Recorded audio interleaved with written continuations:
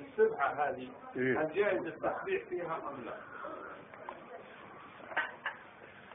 نحن طبعا لنا كلمات حول هذه المسألة آه، نشرت في أكثر من كتاب والذي أذكره الآن هو سلسلة الأحاديث الضعيفة والموضوعة هناك كنت خرجت حديثا بلفظ نعم المذكر السبحة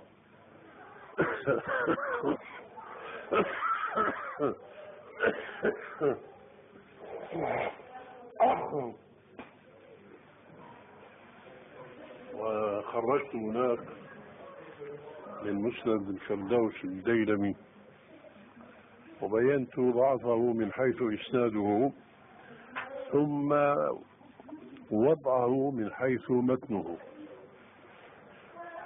من وجوه كثيرة منها أن لفظة السبحة في اللغة العربية هي تعطي النافلة الصلاة. أما الوسيلة الآلة هذه هذه لا تعرف في اللغة العربية فهي دخيلة في اللغة العربية بمعنى الآلة التي يسبح بها. فالذي ثبت عن الرسول عليه السلام يغنينا عن استعمال السبحة بل وعن استعمال العد بالحصى كما روي عن بعض المتقدمين. ونحن دائما في آلات يضغطها دائما هي بدعة الأخيرة هي الله أكبر. صحيح. فالعقد بالأنامل أمر الرسول عليه السلام بذلك وقال فإنهن مسؤولات ومستنطقات يوم القيامة. اليوم نختم على أفواههم وتكلمنا أيديهم وتشهد أرجلهم بما كانوا يكسبون. والخلاصة لا هدى ولا هدي بعد هدى وهدي رسول الله صلى الله عليه وسلم. خير الهدى هدى محمد. وكثير من الناس في هذه المناسبة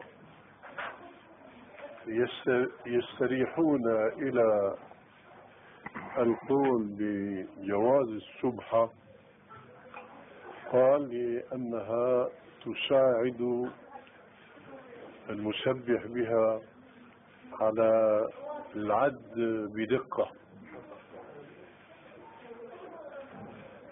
نحن نقول كما جاء في الحديث الصحيح ما تركت شيئا يقربكم إلى الله إلا وأمرتكم به وما تركت شيئا يبعدكم عن الله ويقربكم إلى النار إلا ونهيتكم عنه. فلو كان هناك في الشرع وسيلة لعد الذكر وإحصائه خير عند الله تبارك وتعالى من العد بالأنامل كان ما ينسى ربنا وما كان ربك نسيا. أن يشرع على لسان نبيه صلى الله عليه وسلم تلك الوسيلة. هذا من جهة. من جهة أخرى أنني ألمس الحكمة السلفية التي تقول ما أحدثت بدعة إلا وميتت سنة. وهذا روي مرفوعا إلى النبي صلى الله عليه وسلم لكن السند ضعيف. فأنا ألمس لمس اليد هذه الحقيقة. ما أحدثت بدعة إلا وميتت سنة. الذين احتاجوا إلى استعمال السبحة ما هو إلا لأنهم اخترعوا قبل استعمالهم السبحة أعداد ضخمة جدا فعلا لا يمكن إحصاؤها بالأنامل الأذكار نعم. في شيء يسموه ألفية وأربعة آلاف و- قل والله أحد كذا هذا كيف بده يحصيه إلا بالحصى أو بالشبهة التي تنوب عنها.